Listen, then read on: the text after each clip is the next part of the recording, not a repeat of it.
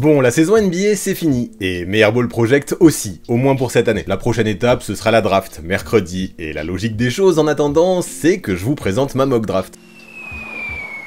Ici, on va faire ça en mode classique, en vous présentant les choix 1 à 30, dans cet ordre-là. Comme si tour après tour, pic après pic, je me mettais dans la peau du GM concerné pour choisir le rookie qui me plaît. Le seul truc que je ne vais pas faire aujourd'hui, pour un souci de lisibilité et de cohérence, c'est anticiper les trades. Ça c'est le truc qui est vraiment imprévisible, qui peut partir dans tous les sens, qui peut impliquer de futurs pics, alors pour éviter de partir dans une usine à gaz sans nom, on ne va pas les anticiper ces trades, on va faire sans. Oui, comme ça se fait habituellement, on fera donc une mock classique, dans l'ordre que la loterie a fixé il y a maintenant plusieurs semaines, même si tout le monde est conscient que des transferts viendront forcément bouleverser cet ordre-là, le soir de la draft. Mais c'est comme ça, c'est le jeu, ça fait partie des incertitudes. Quoi qu'il en soit, après mes choix pour chaque team, j'essaierai de vous justifier au mieux pourquoi elle a pris ce rookie et pas un autre. D'ailleurs, au vu de l'homogénéité de cette draft, je dois le dire, c'est la mock la plus compliquée qu'il m'ait été donné de faire depuis que j'ai lancé cette chaîne. Il n'y a que très peu de chances que mercredi, les choses se passent à peu près comme je vais vous les présenter, c'est certain. Alors un petit peu de tolérance, l'idée ici c'est pas d'anticiper le premier tour de façon parfaite, mais plutôt de vous présenter quel profil selon moi ou quel joueur pourrait correspondre à telle équipe. Je précise aussi que je ne vais pas avoir le temps de passer 15 minutes pour le portrait de chaque joueur. On en a 30 ici à dévoiler. C'est le principe d'une mock, on va aller à l'essentiel. Priorité à l'efficacité donc, et si vous voulez des scouting reports plus complets, je vous invite à checker les 8 que j'ai publiés ces derniers mois sous la formule Airball Project. Bref, ça en fait des infos tout ça, alors on arrête, place à la mock. C'est pour ça que vous êtes ici. Alors on ne perd pas plus de temps, qui sera le numéro 1 de la NBA Draft 2024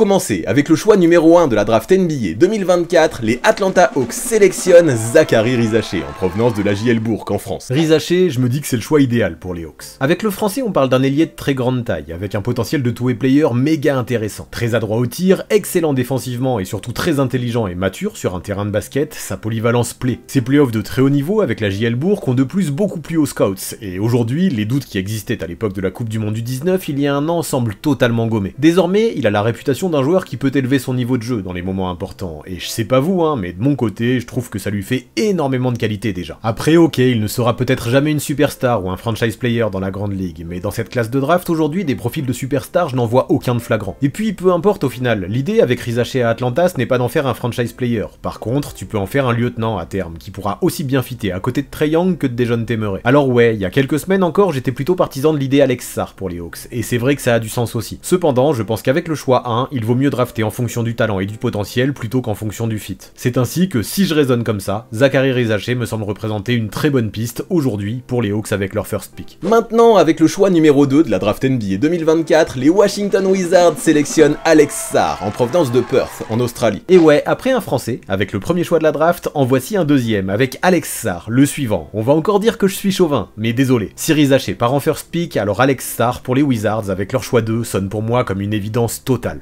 Expert de la défense, ultra mobile, excellent protecteur de cercle, il apportera avec son envergure de malade une dimension intimidante que l'équipe de la capitale ne semble pas posséder à l'heure actuelle. Et puis en attaque, même si Alex est encore brut, il a montré de réels progrès depuis son passage en overtime elite et aujourd'hui, il mixe des moves ainsi qu'un shoot de loin qui lui permettent de disposer d'un arsenal loin d'être inintéressant. Je pense qu'offensivement, de toute façon, il est le genre de joueur qui peut s'adapter à tous les systèmes, tout en étant un game changer défensif, chose qui fera beaucoup de bien à cette team de Washington en galère dans le domaine la saison passée. Pour moi, si Sarr est encore dispo avec le choix numéro 2, il est un no-brainer pour la franchise de la capitale. Ensuite, avec le choix numéro 3 de la draft NBA 2024, les Houston Rockets sélectionnent Reed Shepard en provenance de l'université de Kentucky. Là maintenant, avec Reed Shepard, on parle d'un client super intéressant. Pour commencer, ok, pour un poste 2, sa taille d'un mètre 87 peut inquiéter, surtout qu'il ne dispose pas non plus d'une envergure de ouf. Néanmoins, avec Shepard, tout ça on s'en fout. Il est un joueur très athlétique, qui saute très haut, qui défend très bien, et surtout qui shoot comme un demi-dieu. Tourné à 52% de réussite à 3 points avec plus de 4 tentatives par match, excusez du peu, c'est juste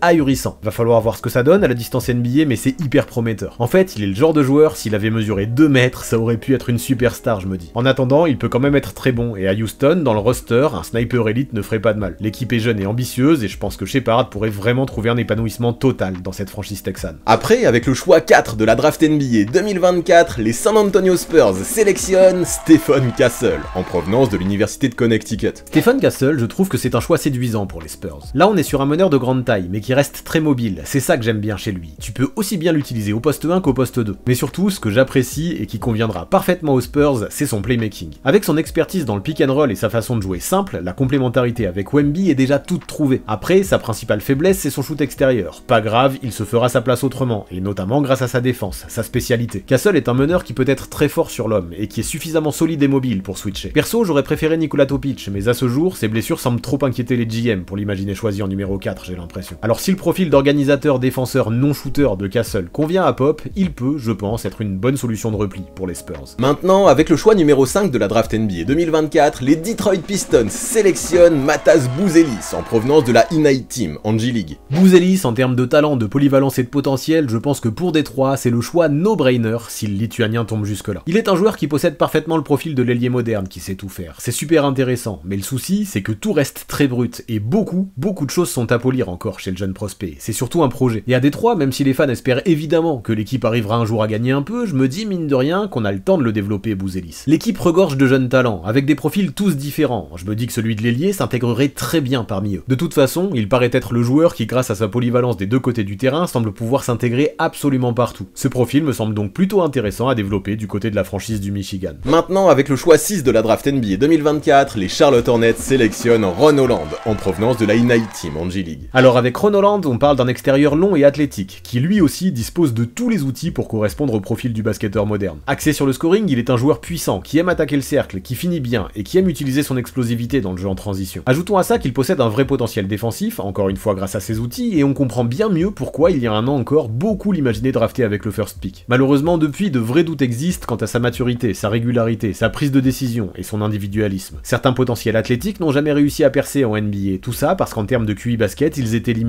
Il ne faudrait pas que ce soit ce qui arrive à Renault Ceci dit, le talent est tellement présent que je me dis que pour Charlotte, le coup peut valoir d'être tenté. L'équipe a des besoins partout, alors autant prendre le plus gros potentiel dispo, et selon moi, c'est Renault Je pense qu'il est un joueur capable de cohabiter avec la Melo Ball et Brandon Miller, d'autant plus si Miles Bridges, free agent cet été, fait ses valises. Après, je sais qu'à Charlotte, beaucoup auraient préféré un intérieur. Hollande n'est pas souvent un choix plébiscité par les fans. Néanmoins, vu que j'ai du mal à imaginer l'équipe ambitieuse dès l'an prochain, encore une fois, en tout cas pour ces Hornets, je préfère drafter en fonction du potentiel plutôt qu'en fonction du Malgré tous les doutes qui existent concernant Ron Holland, je reste persuadé que rien que grâce à ses outils défensifs et son énergie offensive, il peut se faire une vraie place dans la grande ligue. Maintenant, avec le choix numéro 7 de la draft NBA 2024, les Portland Trailblazers sélectionnent Dalton Necht, en provenance de l'université de Tennessee. Place à un shooter maintenant, un vrai, en la personne de Dalton Necht, que j'imagine bien aux Blazers. Là, on parle d'un joueur expérimenté, de déjà 23 ans, et qui sort d'un cursus complet à la fac de Tennessee. Vous allez me dire que ça, au vu de leur situation, les Blazers s'en foutent, autant privilégier la jeunesse et le potentiel. Ce n'est pas faux. Ceci dit, je me dis que l'arrière est un tel sniper que le spacing qu'il pourrait créer autour de joueurs comme Scoot Henderson ou Shadon Sharp pourrait apporter un vrai plus à l'effectif de Sean Billups. L'équipe s'est montrée en grande difficulté dans le tir à 3 points l'an dernier, et je suis sûr que l'adresse et le jeu off-ball de Dalton Necht, malgré les lacunes défensives réelles de ce dernier, pourraient régler certains de ses soucis. Maintenant, avec le choix numéro 8 de la draft NBA 2024, les San Antonio Spurs sélectionnent Nikola Topic, en provenance de l'étoile rouge de Belgrade, en Serbie. Et oui, je vous expliquais plus tôt que pour les Spurs, je préférais le profil de Topic à celui de Castle, mais que l'état de santé du Serbe était peut-être trop douteux pour risquer de le prendre avec le pick 4. Cependant, s'il est dispo avec le pick 8, pourquoi se priver? Parce que l'équipe a déjà sélectionné un arrière plus tôt, à la personne de Stephen Castle Perso, ça ne va pas m'arrêter. Castle, c'est avant tout un joueur polyvalent, défenseur, qui peut aussi jouer au poste 2, tandis que Topic, en termes de QI basket et de qualité de passe, est peut-être le meilleur playmaker de cette QV. Alors ouais, grâce à ça, le fit paraît tellement évident avec Victor Wembanyama que je serai San Antonio, je tenterai le coup avec ce pick 8, et si jamais ça flop, Topic, en raison des blessures, il restera toujours des joueurs comme Castle et Trey Jones pour assurer au poste 1. De toute façon, ce poste 1 représente une vraie faiblesse chez les Spurs, et pour moi, s'offrir plusieurs options à cette position via cette draft ne serait pas déconnant. Maintenant, avec le choix numéro 9 de la draft NBA 2024, les Memphis Grizzlies sélectionnent Donovan Klingam,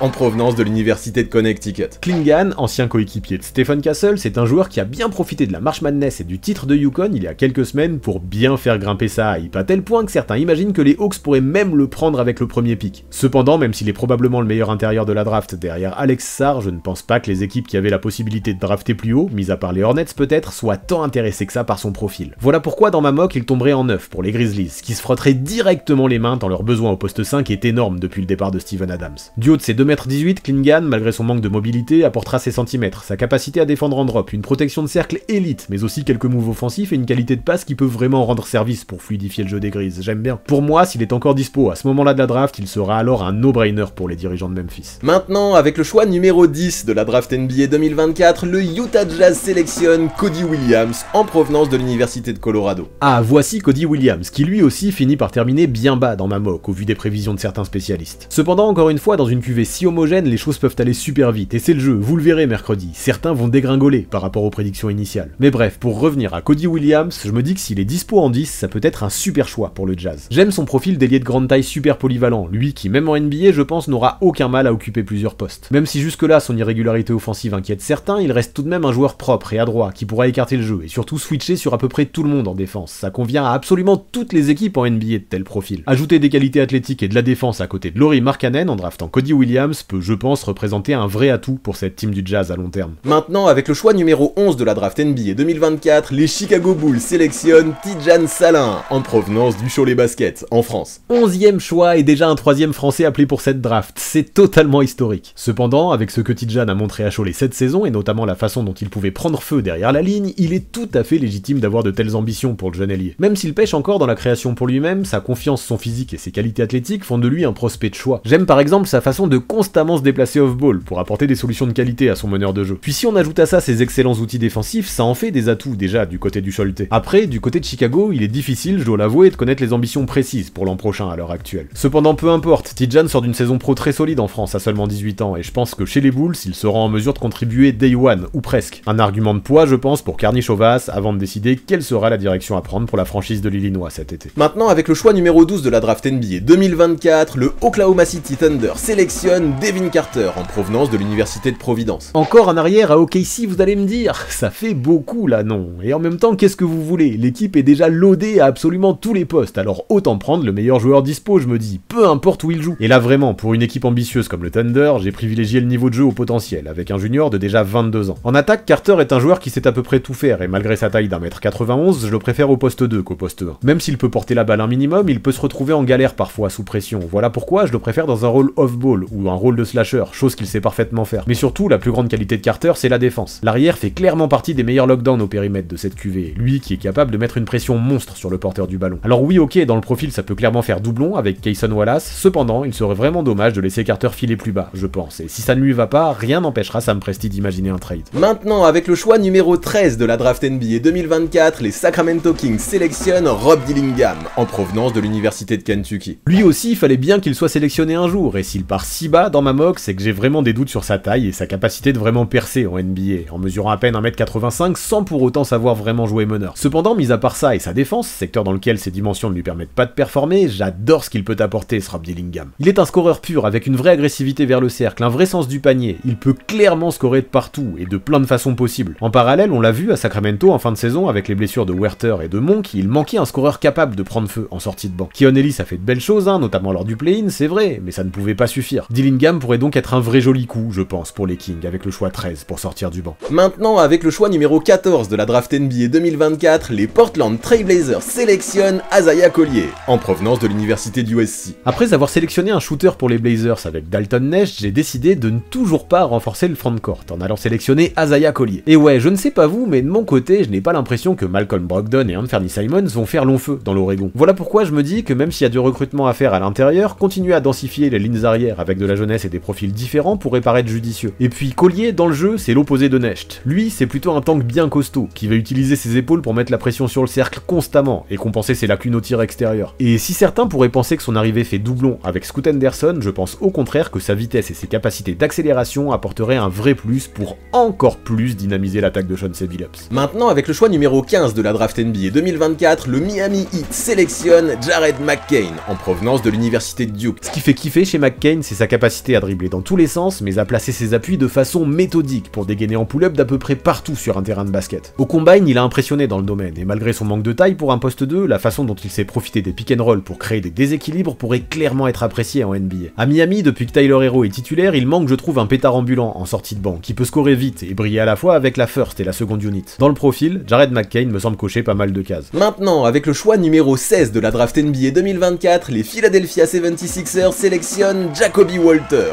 en provenance de l'université de Baylor. À Philadelphie, on le sait, la quasi-intégralité de l'équipe se retrouve sans contrat cet été, alors autour de Joel Embiid et Tyrese Maxey, il faut limite recommencer à construire de zéro. Pour ça, je me dis qu'un two-way player comme Jacoby Walter, qui peut à la fois défendre fort et mettre dedans de loin, est une bonne option pour les Sixers. Dans un profil de poste de 3D, si s'il arrive à montrer un minimum de constance, je suis sûr qu'il peut se faire sa place en NBA. Maintenant, avec le choix numéro 17 de la draft NBA 2024, les Los Angeles Lakers sélectionnent Zakidi, en provenance de l'université de Purdue. Avec Zakidi, on parle probablement du meilleur joueur de NCAA de ces dernières années. Pivot à l'ancienne qui passe sa vie au poste, la façon dont il a dominé ses adversaires à la fac du haut de ses 2m24 s'est clairement montré impressionnante. Maintenant, il est vrai que parfois, pour ce genre de pivot qui ne peuvent pas switcher ou s'écarter, il est difficile de trouver une place dans la NBA moderne. Ceci dit, les Lakers ont besoin de renforcer leur rotation à l'intérieur, et au vu de ce que le Canadien a fait à la fac, je me dis qu'avec un choix 17, tu ne perds pas grand chose du côté de la Californie en lui donnant une chance. Maintenant, avec le choix numéro 18 de la draft NBA 2024, le Orlando Magic sélectionne Tristan Da Silva, en provenance de l'université de Colorado. Encore un poste 3-4 mature et intelligent du côté d'Orlando, alors qu'il y a déjà embouteillage à ce poste, et oui, ça me va bien, tant derrière Franz Wagner et Paolo Banquero, Tristan Da Silva peut apporter une rotation de qualité. Le germano-brésilien est un joueur super polyvalent qui lit bien le jeu, fait de bonnes passes, est à droit de loin et saura toujours se placer au bon endroit. Ok, il n'a que peu de qualité athlétique, mais peu importe, il compense avec son intelligence de jeu. Posséder un rookie comme lui en sortie de banque est déjà prêt, je me dis que ce n'est pas du luxe, surtout quand, comme le Magic, tu veux nourrir des ambitions. Maintenant, avec le choix numéro 19 de la draft NBA 2024, les Toronto Raptors sélectionnent Kellelware en provenance de l'université d'Indiana. Chez les Raptors, à part Jacob Poltel dont l'avenir est incertain, aujourd'hui il n'y a pas de vrai pivot, et Kellelware, avec sa jeunesse dans une équipe qui a du temps pour développer les jeunes, pourrait potentiellement répondre aux attentes. Gros rim protector et 7 footeur bien solide dans la raquette, il n'a aucun mal, grâce à ses grands bras, à être trouvé au-dessus du cercle. En parallèle, il est un tireur très fiable de loin, et ses qualités de stretch 5 sont réelles. Beaucoup de choses sont encore à polir chez le pivot, mais pour Toronto, je pense que ça vaut le coup de voir ce que ça peut donner avec quelques minutes en tant que backup, puis pourquoi pas en tant que titulaire avec du temps. Maintenant, avec le choix numéro 20 de la draft NBA 2024, les Cleveland Cavaliers sélectionnent Yves Missy,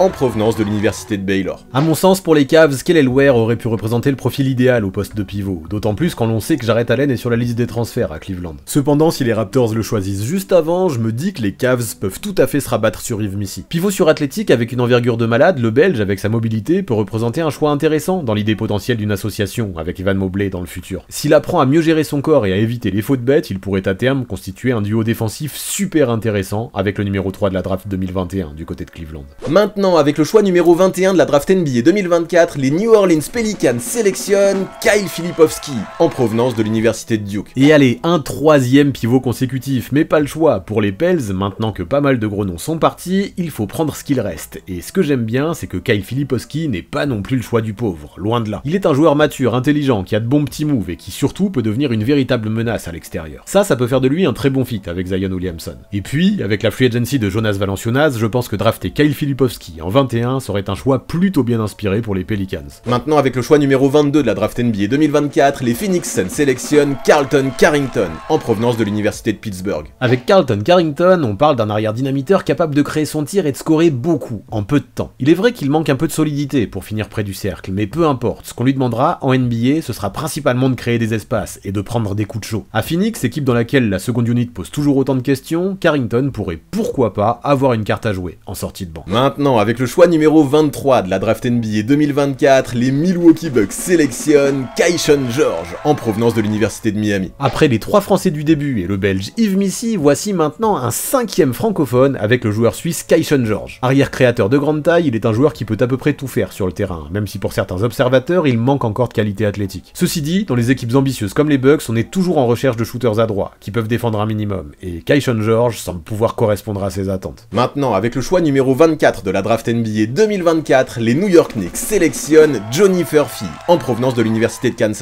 Les Knicks possèdent deux pics consécutifs dans cette draft, et avec le premier d'entre eux, je me dis que le profil de Johnny Furphy mérite au moins d'être étudié. Lui non plus n'est pas un joueur particulièrement athlétique, par contre, malgré ses 19 ans, il est déjà un joueur qui sait faire beaucoup de choses sur un terrain de basketball. Maintenant, est-il physiquement NBA ready? Pas sûr du tout ça. Néanmoins, avec un choix 24, trouver un poste 3 sérieux comme Furphy, qui mettra dedans de loin avec régularité et t'apportera la garantie de faire un minimum d'erreurs sur le terrain, pourrait je pense représenter une solution qui plairait bien à Tom Thibodeau. Maintenant, avec le choix numéro 25 de la draft NBA 2024, les New York Knicks sélectionnent Tyler Kolek en provenance de l'université de Marquette. Et après un ailier pour New York, avec le choix 25, j'irai chercher un meneur, même si je ne suis pas sûr qu'avec les rotations ultra serrées de Tibbs, les Knicks aient besoin de tous ces joueurs. Mais peu importe, si aucun trade ne se présente à eux, je les vois bien jeter leur dévolu sur Tyler Kolek. J'aime le fait qu'il soit un playmaker, qu'il sache gérer le tempo, être patient ou jouer vite. Le gaucher est un leader qui compense son manque de qualité athlétique par son cerveau, et dans une équipe comme New York, en tant que backup meneur, en concurrence avec Miles McBride, il y a peut-être moyen qu'il fasse le job. Avec un choix 25, de toute façon, tu ne perds rien à tester. Maintenant, avec le choix numéro 26 de la draft NBA 2024, les Washington Wizards sélectionnent Tyler Smith, en provenance de la In-Night Team, en G-League. Après Bouzelis et Hollande, voici un autre joueur issu de la In-Night Team, Tyler Smith, le stretch fort par excellence. Je sais qu'à Washington, on a déjà drafté Sar au poste 5, et que dans le 5, il y a déjà Kyle Kuzma au poste 4. Ceci dit, à ce stade-là de la draft, on cherche surtout des remplaçants, et chez les Wizards, dans la raquette, sur le banc, il n'y a pas un million d'options. Taylor Smith, de son côté, est un joueur brut, mais polyvalent, avec du potentiel des deux côtés du terrain. Alors pourquoi pas, je me dans une équipe en reconstruction comme Washington. Maintenant, avec le choix numéro 27 de la draft NBA 2024, les Minnesota Timberwolves sélectionnent Jalen Tyson, en provenance de l'Université de Californie. Ce que j'aime bien avec Jalen Tyson, c'est qu'il est un ailier créateur capable de jouer à plusieurs postes. Lui, qui avec California, était majoritairement utilisé en tant que meneur de jeu. Avec son physique de tank, il peut bully ses défenseurs, et est ensuite un expert pour créer son tir dans ces conditions. Même s'il y a pas mal de déchets à gommer quand il a le ballon, et que sa prise de décision questionne parfois, je pense que dans son profil d'homme à tout faire, il pourrait apporter une solution supplémentaire à Minnesota, sachant que Kyle Anderson est free agent cet été. Ajoutons à ça que Tyson a le potentiel pour devenir un défenseur de qualité, et je me dis que ouais, pour Minnesota, il pourrait représenter un très bon choix. Maintenant, avec le choix numéro 28 de la draft NBA 2024, les Denver Nuggets sélectionnent Darren Holmes II,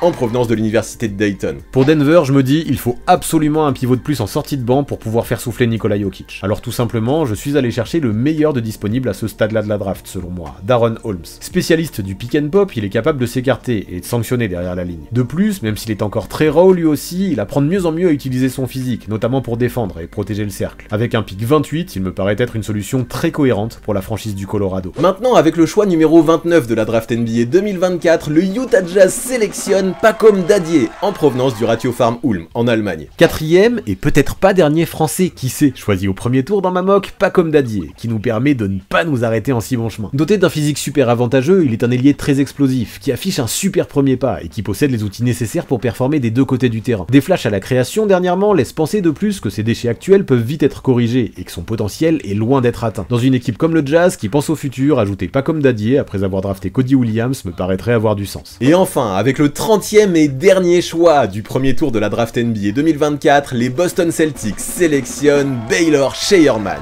en provenance de l'université de Creighton. Pour terminer, je me suis dit que pour les champions en titre, il fallait un joueur sérieux, mature et si possible adroit à longue distance. Dans le profil, le meilleur que j'ai trouvé parmi les joueurs restants, c'est Baylor Scheierman de Creighton, fac connu pour avoir formé des shooters très solides comme Kyle Korver ou Doug McDermott. Dans son profil de sniper, Scheierman semble pouvoir tout à fait confirmer la tradition de sa fac et apporter une bonne option supplémentaire aux Celtics en sortie de banc avec la free agency de Sam Hauser. Et ça y est, c'est déjà la fin du premier tour. Je vous invite à me dire ce que vous en pensez en commentaire, ce que vous pensez du choix pour votre équipe préférée, et moi je vous donne rendez-vous mercredi pour la draft NBA que j'ai vraiment hâte de suivre, histoire de voir si ça se passe comme je l'ai prévu ou pas.